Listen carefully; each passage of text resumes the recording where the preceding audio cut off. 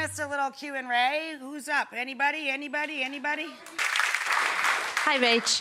Um, girls Getaway. Do you have a favorite place? Have you been somewhere you recommend? Wow. I, I have to tell you, I don't get a chance to travel a ton because I'm, I'm I just work too many jobs. Um, when I do girls' nights, it's usually pajama night at my house, and we all make like a chili bar. There's a cocktail of the evening, and you know.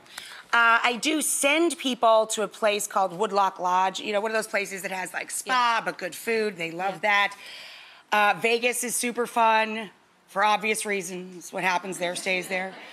You know, I really love Montreal, and the last time I was with girlfriends and traveling, it's like Paris on sale.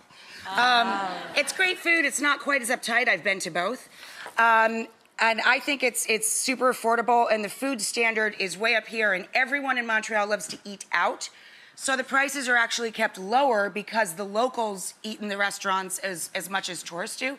I had a blast in Montreal. I went with my girlfriends Lauren and Leslie. What we can remember of it was amazing.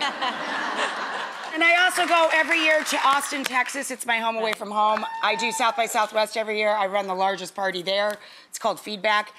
I have a good time there too. So Austin and Montreal, I guess, my top two.